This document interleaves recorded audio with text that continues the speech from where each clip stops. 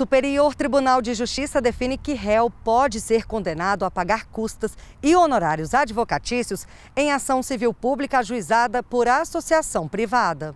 O caso teve origem quando a Associação Estadual de Amparo ao Consumidor e ao Cidadão e Defesa contra as Práticas Abusivas, a PRODEC, ingressou com ação civil pública contra a PepsiCo do Brasil, com o objetivo de obrigá-la a incluir determinadas informações na embalagem de um produto.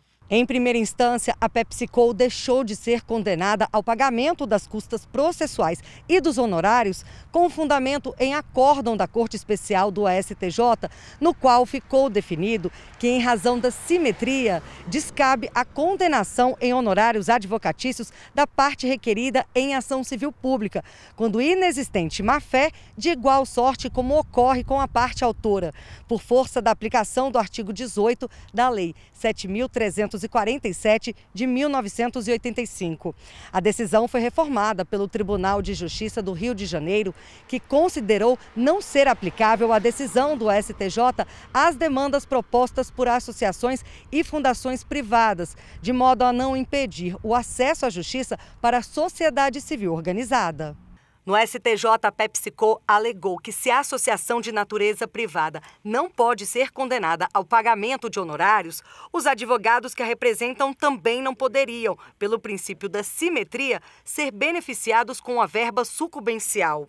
A terceira turma negou provimento ao recurso especial da empresa e manteve a decisão de segundo grau.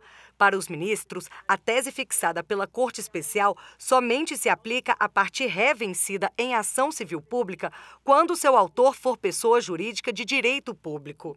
Esta advogada explica o entendimento aplicado. O artigo 18 da Lei de Ação Civil Pública ele determina que o autor da ação, da ação civil pública, ele nunca tem que pagar custos, a não ser que ele tenha agido de má fé. Ocorre que aí, nesse caso em específico, quem entrou com a ação foi uma associação é, de direito privado, não era uma associação, não, não era uma pessoa jurídica de direito público, era uma pessoa jurídica de direito privado.